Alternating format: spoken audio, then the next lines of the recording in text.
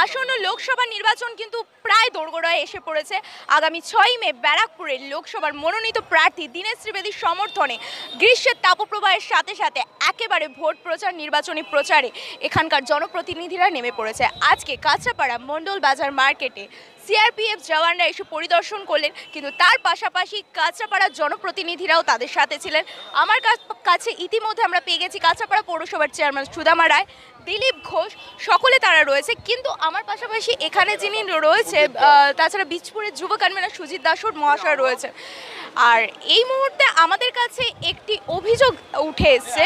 সানি বলে তিনি এক- একটি অভিযোগ দায়ের করছেন। সেই অভিযোগটা মূলত কি? সেই বিস্তারিতটা চলুন তার কাছ থেকে আমরা শুনে নিই।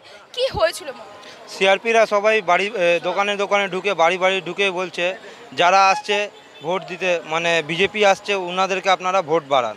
ঠিক আছে, সেইটা হয়েছে কালকে আমার সন্ধ্যাবেলা মোটামুটি আটটা বাজে, তখন দোকানে আমার ঢুকে ওনারা খান দান, আবার কোল্ড ড্রিঙ্কস খেয়ে লাস্টে যখন বিল হয় বিল বলছি, তাহলে বলছে, আপনারা কোথায় থাকেন? আমরা বলি, এখানেই থাকি। ওদের এখানে সব নন বেঙ্গলি মানে হ্যাঁ নন বেঙ্গলি তো এমনি আপনাদের বাড়ি কোন জায়গায় মানে আমাদের এমনি বিহার বাড়ি সিওয়ান। তো আচ্ছা আমরা, ওনারা থাকেন গোরখপুর, বললেন। এইটা দিয়ে পরিচয় করার পর বললেন কি, এবার যারা আসছে, তাদেরকে আপনারা ভোট দিয়ে এগিয়ে দিন। আমরা কিছু বললাম না তারপর কি আমাদের যারা নেতা আছে আমাদের চেয়ারম্যান আছে বাপিদার রয়েছিলেন। যারা আছে মূলত কাদের দিকে তারা ইঙ্গিত করতে চেয়েছে ওনারা চাইছে বিজেপিকে আসতে। আচ্ছা। ঘটনাটার পরে আপনারা কি আপনাদের জনপ্রতিনিধিদের জানিয়েছিলেন? হ্যাঁ সবাইকে জানানো হয়েছে রাত্রেবেলা কালকে। আর উচ্চ কর্তৃপক্ষকে জানানো হয়েছে নির্বাচন কমিশনের আধিকারিক যারা আছে? স্যার আমাদের আমাদের যারা নেতৃত্বে দিচ্ছেন তাদেরকে জানানো হয়েছে ওনারা হয়তো উপর প্রধানকে জানানো ছিল ওদেরকে জানিয়েছে। সানি যাদব। ধন্যবাদ।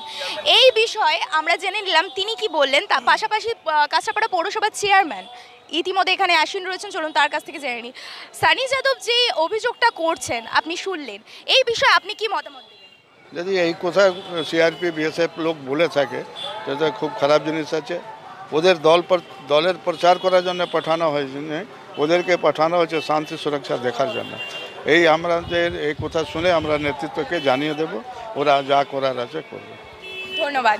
পাশাপাশি বীজপুরের যুব কনভেনারও রয়েছে, চলুন তার কাছ থেকে জেনে নিই। তো সিআরপিএফ জওয়ানদের প্রতি যে অভিযোগ এখনও পর্যন্ত এসছে আপনাদের সামনে, কি কর্মসূচি নেবেন? আমরা তো জানাব, কমিশনে জানাব। প্রথমতটা বলছি, আর দ্বিতীয়ত হচ্ছে গিয়ে, এই মুহূর্তে বিজেপির যে অবস্থা, এটা দেউলিয়াপনা হয়ে গেছে। ওরা জানছে যে বিয়াল্লিশে বিয়াল্লিশে হারবে। এখন সিআরপি লাগাবে, টাকার খেলা হবে, অনেক টাকা উঠছে এখানে। প্রচুর টাকা দিচ্ছে সে ছেলেমেয়েদের টাকা লোভ দেখাচ্ছে। এই সমস্ত নোংরা খেলা খেলছে। তো এই যতই নোংরা খেলা খেলুক, ও আমরা বিয়াল্লিশে বিয়াল্লিশে হবই, আমরা এতে ভয় পাই না, আর আমরা লড়াই করে যাব। এই বিষয়ের উপর আপনারা কি কোনো কর্মসূচি নেবেন? আজকে গতকাল যে আমরা জানাব কমিশন জানাব যে এই সমস্ত বন্ধ করতে হবে। ধন্যবাদ ধন্যবাদ। বীজপুরের যুব কনভেনার থেকে কাছাপাড়া পৌরসভার পৌর পার্ষদ তিনি কি বললেন সেটাও আমরা